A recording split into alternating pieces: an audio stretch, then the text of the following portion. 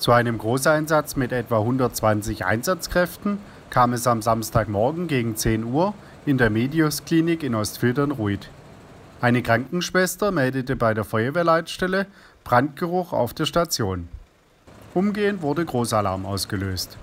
Christian Rote, Pressesprecher der Feuerwehr Ostfildern, schilderte uns den Einsatz. Nach Eintreffen der ersten Kräfte wurde die umfassende Erkundung aufgenommen. Der Brandgeruch war feststellbar offene Flammen, offener Rauch war nicht festzustellen. Äh, Im Endeffekt war es dann so, dass nach langwieriger Erkundungsarbeit auch Einsatz einer Wärmekamera das Vorschalt, äh, Vorschaltelement einer Beleuchtung im Flur, äh, sprich einer Lampe, einer defekten Lampe, das wurde entdeckt und das war abgeraucht und das hat dann für Rauch, den Rauchgeruch und die leichte Verrauchung gesorgt. Nach dem Fund der defekten Lampe konnte der Einsatz beendet werden und die Einsatzkräfte konnten abrücken.